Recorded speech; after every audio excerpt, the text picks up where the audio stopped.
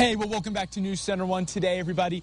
With me again, Ryan McFarland. Now, we're on these Strider bikes here now. Ryan, when, when people first think about Strider bikes, they think of the really little ones. But actually, just yesterday, you guys launched uh, of teens. Yep, uh, two new models, 16 inch and 20 inch. Uh, the 16 for kids 6 to 12, and the 20 inch for uh, teens and adults. Oh, Really, the drive behind these bikes was uh, kids with special needs Mhm. or uh, older adults who are getting to where they don't feel comfortable on a bike anymore. It's a fun, safe alternative. oh yeah, it's a lot of fun. And now, Ryan, we have that big event. The National Championship Series starts this weekend. And now, how can people find out a little bit more about this? Uh, you bet. Our website's the best source, striderbikes.com, and uh, there's information about all the bikes and the event. All right, awesome. Well, guys, this is going to be a fantastic event going on this weekend. And now, Ryan, what we're going to do is we're on these Strider bikes. We might as well. I mean, do you want to have a little race? I mean, do you want to Seems want to go out? I mean, it just yeah. seems natural that we kind of warm up and have a little race. So how about we line up and we'll just kind of